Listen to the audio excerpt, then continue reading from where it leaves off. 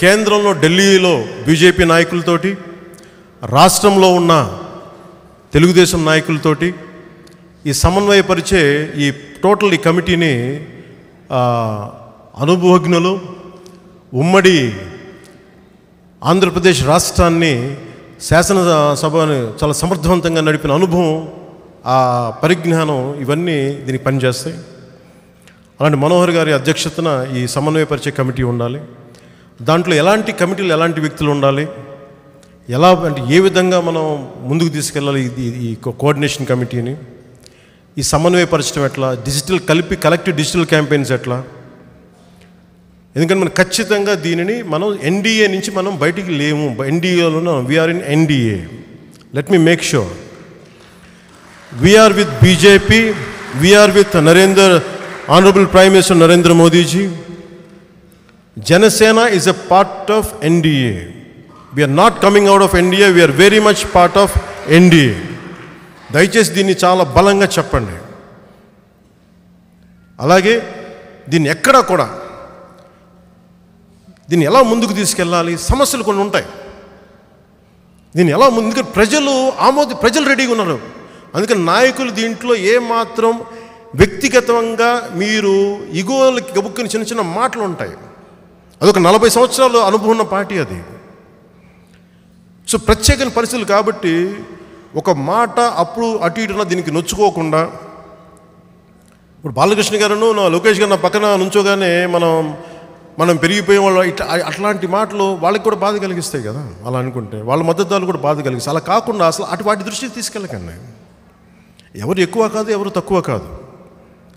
ఎవరు మోర్ బలంగా దీన్ని కలిసి రాష్ట్ర ప్రయోజనాలు ఎలా కాపాడుకుందాం మీదే ఆలోచిద్దాం. మీరు దాన్ని దృష్టిలో పెట్టుకోండి మీరు దాన్ని. నా కోరిక అంత ఏం లేదు. పది సంవత్సరాలు మీరు అండగా ఉన్నారు. ఇంకొంతమంది రెండు వేల తొమ్మిది నుంచి ఎదురు చూస్తూ ఉన్నారు. అది రెండు వేల ఇరవై నాలుగులో సాధిద్దాం అదే. నమ్మండి.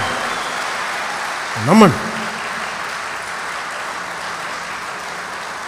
ఎవరితో కూడా గొడవ పెట్టుకోవద్దు మీరు. ఎవరితో కూడా తగ్గించొద్దు.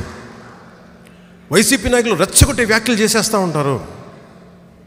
సింహం సింగిల్గా వస్తుంది. అంటే నేను చెప్పారు మేము మనుషులు బాబు. సింగిల్గా మేము మీ అంత బలం లేదు. మీరు మృగరాజులు. మీరు తోడేళ్ళు గుంపు. మాకు మాకు అంత బలాలు లేవు మాకు. మేము మనుషులం కదా. మేము చూడటానికి మీలాగా మాకు అలా ఉండవు. జూలిగీలు మాకు ఉండవు మాకు. తోకలు అలా ఉండవు మాకు. మేము మనుషులం మేము. అందుకని ఇలాంటి రెచ్చిపోయే మాటలు సింహం సింగిల్గా వస్తే తొడలు కొట్టుకుంటే తొడలు కొట్టుకొని తొడలు వాచిపోతాయి మీకు. అలా కొట్టుకోకండి. సినిమాలో ఉండి నేను మామూలుగానే మాట నేను సింహం గడ్డం తీసుకో గడ్డం తీసుకుని నేను చెప్పడానికి చచ్చిపోయిన డైలాగ్. వీళ్ళు సీరియస్గా తీసుకుంటారు. వీళ్ళు వీళ్ళు ఎలా ఉంటుందంటే వీళ్ళందరూ కూర్చోబెట్టి? వీళ్ళు మనం చాలా రెచ్చగొట్టేసేలాగా మనం రెస్లెస్ అయిపోయి వైసీపీ నాయకులకి ఒకటే చెప్తున్నా. మీరు ఓడిపోతున్నారు. మీరు ఓడిపోతున్నారు. అధికార యంత్రాంగానికి ముగింపు చెప్తాం అధికార యంత్రాంగం మీరు ఇక మీదట ఆలోచించుకోండి యు ఫాల్ ఇన్ లైన్ ఆరు నెలల్లో మా ప్రభుత్వం వస్తుంది. మీ వైసీపీ పోతుంది. మీరు దీనిని అర్థం చేసుకొని ఐఏఎస్ కానీ ఐపీఎస్ అధికారులు కానీ మంచి వాళ్ళు చాలామంది ఉన్నారు. అడ్డగోలుగా కొమ్ము కాసిన వాళ్ళకి నా విన్నపం మీరు కనుక ఇలాగే రెచ్చగొడితే మీ భవిష్యత్తు బాగోదని నేను సమానం చాలా వినమ్రతతోటి నేను మీకు తెలియజేసుకుంటా ఉన్నాం. ఎందుకంటే మేము విసిగిపోయాం మేము కూడా. మేము మీకు గొడవే కావాలనుకుంటే ఇంక నేను ఏం చేయలేను దానికి. మీరు నన్ను చూశారు ఏ స్థాయికి నేను గొడవ పెట్టుకోగలను. అందుకని మీరు దీన్ని దృష్టిలో పెట్టుకొని అధికార యంత్రాంగం కూడా రాబోతున్న ఈ కొత్త జనసేన తెలుగుదేశం బీజేపీ ఆశీస్సులతో ఉన్న ఈ ప్రభుత్వానికి సంపూర్ణ మద్దతు ఇస్తారని తెలియజేసుకుంటూ ఆంధ్రప్రదేశ్కి ఆంధ్రప్రదేశ్కి మంచి రోజులు వచ్చినాయి. చాలా బలమైన భవిష్యత్తు ఇవ్వబోతున్నాం.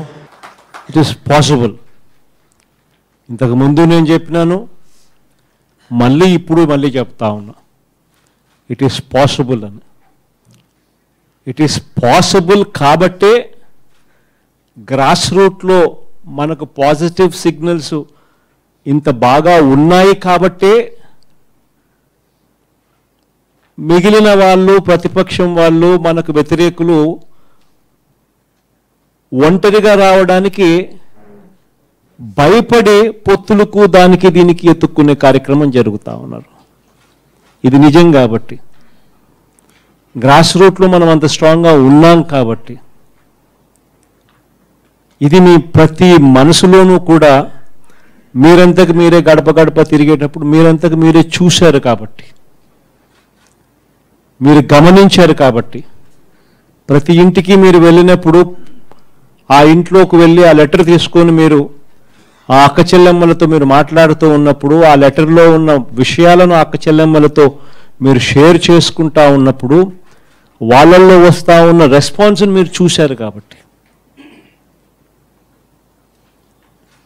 ఇదే ఆత్మవిశ్వాసం. ఇదే ధైర్యం. ఇదే ముందు చూపు ముందు ప్లానింగ్.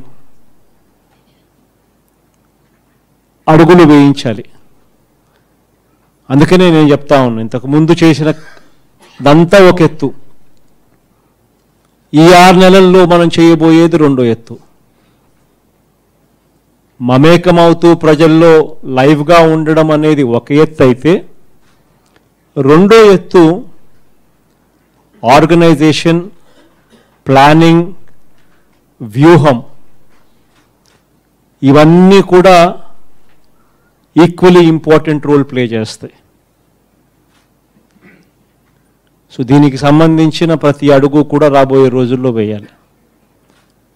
మనకు విలేజ్ లెవెల్లో గ్రామ స్థాయిలోను మండల స్థాయిలోనూ ఉన్న నాయకులకు ఎటువంటి విభేదాలు ఉన్నా కూడా ఆ విభేదాలను అన్నింటినీ కూడా మనం పరిష్కరించుకుని అడుగులు వేయించే కార్యక్రమం జరగాల.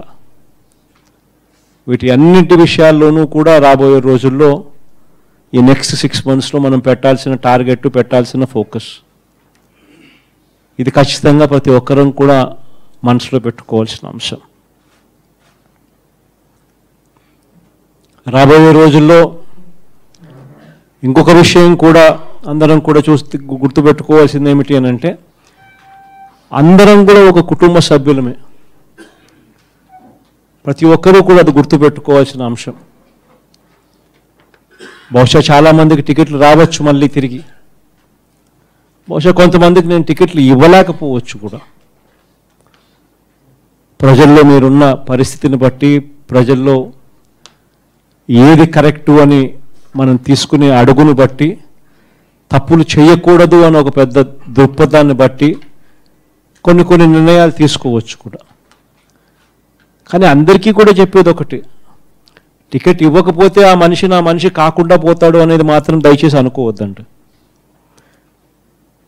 టికెట్ ఇస్తే అదొక రెస్పాన్సిబిలిటీ అదొక సపరేట్ రెస్పాన్సిబిలిటీ టికెట్ రాకపోయినా మీరు మీరు నా నా వాళ్ళు కాకుండా పోతారని అను టికెట్ వచ్చినా రాకపోయినా మీరు ఎప్పటికీ నా వాళ్ళుగానే ఉంటారు.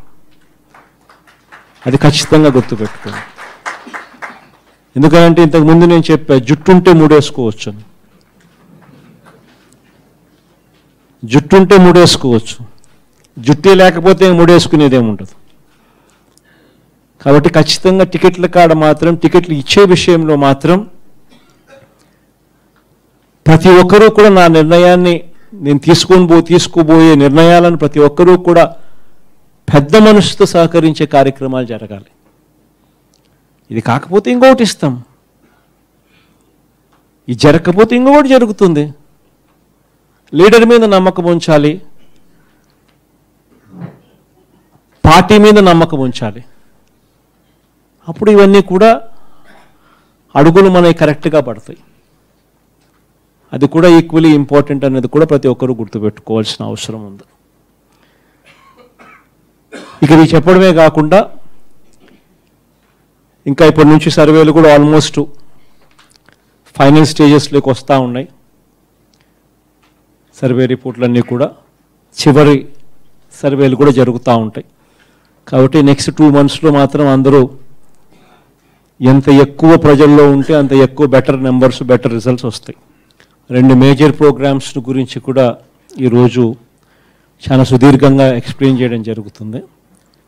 ఒకటి జగనన్న ఆరోగ్య సురక్ష అనే కార్యక్రమానికి సంబంధించిన ఈయన ప్రోగ్రామ్కి సంబంధించి డీటెయిల్స్ అన్నీ కూడా మీ అందరితో షేర్ చేసుకుంటారు. రెండవది వైఏపీ నీడ్స్ జగన్ అనేది రెండో కార్యక్రమం పార్టీ తరపు నుంచి రెండో కార్యక్రమం అగ్రెసివ్గా రెండవది కూడా తీసుకొని పోవాల్సిన అవసరం ఉన్న ప్రోగ్రామ్ కూడా. సో ఈ రెండు ప్రోగ్రామ్స్ నెక్స్ట్ టూ మంత్స్లో అగ్రెసివ్గా పార్టీ తరపు నుంచి మనం చేయబోయే కార్యక్రమాలు. ఒక జగనన్న సురక్ష అనే ఒక ప్రోగ్రాం చేసినాం. దానివల్ల చాలా పాజిటివిటీ వచ్చింది. దాదాపుగా తొంభై ఎనిమిది లక్షల సర్టిఫికెట్లు ఇచ్చినాం. దాదాపుగా బెనిఫిషరీస్ అందరినీ కూడా జల్లడబట్టి ఏ ఒక్కరు కూడా మిస్ అయినా కూడా వాళ్ళను కూడా మళ్ళీ వాళ్ళకు సంబంధించిన డాక్యుమెంటేషన్స్ అన్నిటిలో కూడా సహాయ సహకారాలు అందిస్తూ వారికి తోడుగా నిలబడుతూ వారిని మళ్ళీ వారికి కూడా మంచి చేసే కార్యక్రమం కూడా చేయగలిగినాం. ఈ జగనన్న సురక్ష అనే కార్యక్రమం ద్వారా.